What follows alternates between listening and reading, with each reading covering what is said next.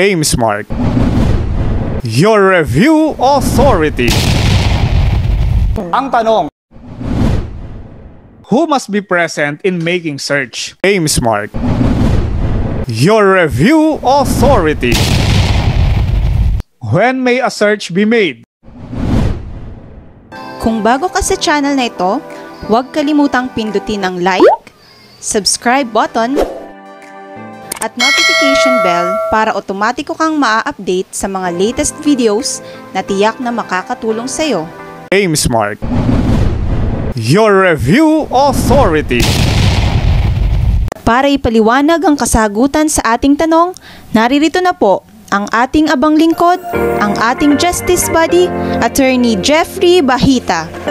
Isang mapagpalang araw sa ating lahat. Who must be present in making search? Magse-search ka na. Ikaw na pulis ka, hindi ka dapat nagse-search ng ikaw lang. Kailangan merong present na ibang tao. Bakit? Dahil usong-uso ang mga ilang tiwaling pulis na pag nagse-search ay nagtatanim. Tandaan mo, bilang pulis, parte ka ng Philippine National Police na under ng DILG hindi ka under ng Bureau of Plant Industry.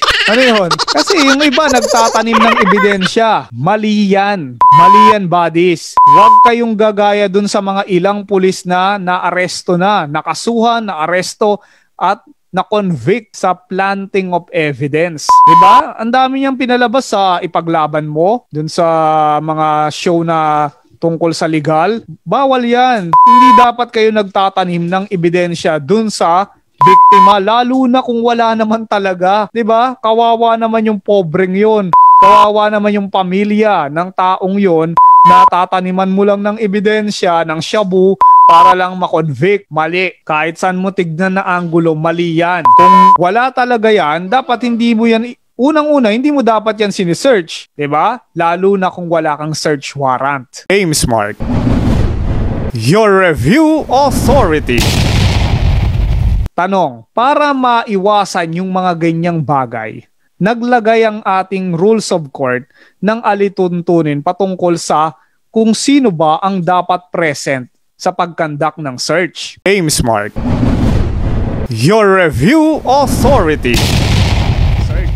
Ang sabi sa Section 8, search of house, room, or premises to be made in presence of two witnesses. No search of a house or room or any other premises shall be made except in the presence of the lawful occupant thereof.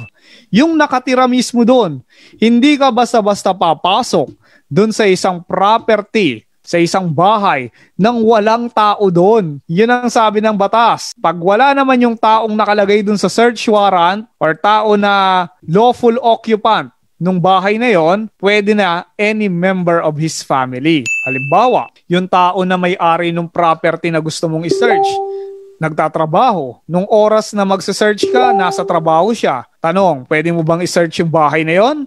Ang sagot, oo, pwede. Provided nandun ang kanyang member of the family. Bakit kailangan ng ganyan? Dahil protection din yan dun sa searching officer, dun sa police. Bakit? Dahil pag may nawala dun sa bahay ng tao na sinearch mo, pwede kang makasuhan. ba? Sabihin, ninakaw mo pa yung gamit nila. Kaya binibigyan din ng proteksyon ng ating rules of court yung police officer na magsa-search ng property na kailangan may tao, may witness, may testigo. Una, lawful occupant. Yung tao mismong nakatira doon. Ikalawa, kung wala naman, member of the family. Pangatlo, kung wala pa rin yung dalawang yon, two witnesses of sufficient age and discretion residing in the same locality. Diyan na papasok yung mga barangay tanod. Isama mo yung mga barangay tanod. Pagka mag-aresto ka, magsa-search ka, isama mo sila at least two witnesses of sufficient age. Yung sufficient age na yan, yan yung age of majority. Ibig sabihin, hindi ka pwedeng magsama ng minor de edad. Isasama mo yung bata. O, ikaw mag-witness, utoy ha, ining ha, ikaw mag-witness. Hindi pwede yon Kailangan sufficient age and discretion. Hindi kahit na 20 anyos siya, 21, 22, eh kung maluwag naman ang tornilyo niyan, halimbawa imbecile or insane, hindi mo pa rin pwedeng isama yan na witness. Again, common sense, di ba? Pero nilagay na ng ating Korte Suprema yan para malinaw na yung guidelines, yung criteria. Ang isasama mong dalawang witnesses must be of sufficient age, nasa tamang edad, and may discretion, may tama, ability to discern what is right from what is wrong, may discernment, may discretion, at ikatlo, residing in the same locality. Ibig sabihin, taga dun sa barangay na yon. Hindi ka kukuha ng witnesses na galing pa ng apari para lang mag-search ng property dyan sa may Pasay. Hindi ganoon, di ba? Kailangan residing in the same locality. Yun ang mga criteria for judging. James Mark.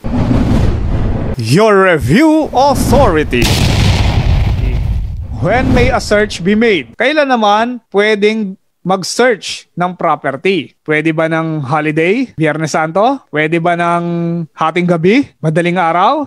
Ang sabi sa section 9, time of making search, the warrant, yung warrant, the search warrant must direct that it be served in the daytime. Bilang pangkalahatang alituntunin, kailangan ang search warrant ay isa-serve daytime. Ha? Daytime. Kontraryo yan dun sa warrant of arrest. Ang warrant of arrest, at any time of the day or night. Di ba yun ang nakalagay? Dito sa search warrant, bilang pangkalakatang alituntunin, kailangan daytime. Ha? May araw pa. Unless the affidavit asserts that the property is on the person or in the place ordered to be searched, in which case a direction may be inserted that it be served at any time of the day or night. Sasabihin mo dun sa korte, Your Honor, eh hindi po kami makakapag-search pag umaga dahil ang bigayan ng epektos ay sa gabi. Diba? Nandun lang yung paggabi. So sa ganung pagkakataon, ang ating hukuman ay reasonable naman. Ah, ganun ba, iho? O sige, lagay natin sa search warrant na pwede mong gamitin yan at any time of the day or night. Pero mga buddies, tatandaan mo sa search warrant, yung anytime of the day or night ay exception. Dahil ang general rule, pag search warrant, dapat daytime mo isi-serve.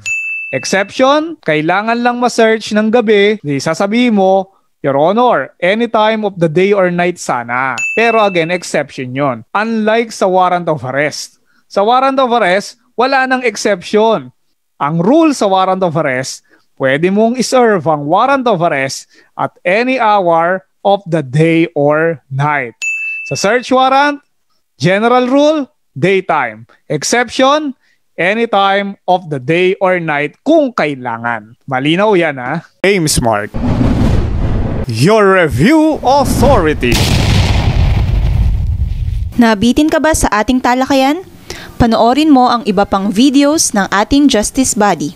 Dahil ang sabi sa Kawikaan 13.20, ang nakikisama sa may unawa ay magiging matalino, ngunit ang kasama ng mangmang ay masusuong sa gulo.